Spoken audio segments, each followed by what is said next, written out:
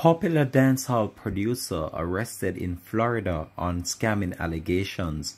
Hi again and welcome. This is Links 7 TV News Report and we'll be right back with the details to come on the program. We ask you please remember to like, share, subscribe to the channel, click that notification bell and click on all so you're always updated with the latest news report. We'll be right back after this short break. Welcome to Links 7 TV News Report, providing you with the best in local and international news updates.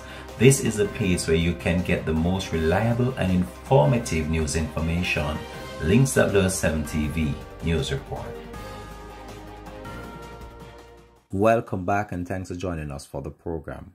Popular music producer Dante Poppy Don Music Johnson has been arrested in Florida in connection with a fraud case.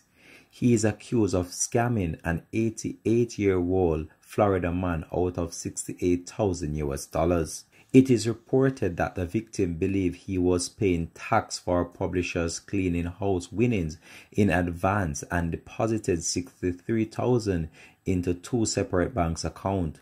His family contacted law enforcement in October 2020. With the help of surveillance videos, detective investigating the case identified Johnson, age 25, as a suspect who reportedly used the victim's identity to withdraw the money. While executing a search warrant on Johnson's home, detectives allegedly uncovered more than 17,000 US in cash, a stolen firearm, and several electronic devices. The dancehall producer was arrested and faces charges of criminal use of personal identification and bank fraud.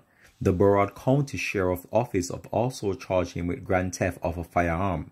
Detectives believe that Johnson stole more than 300,000 US dollars from 17 victims across the country. We'll continue to track this story and provide you with latest report to come.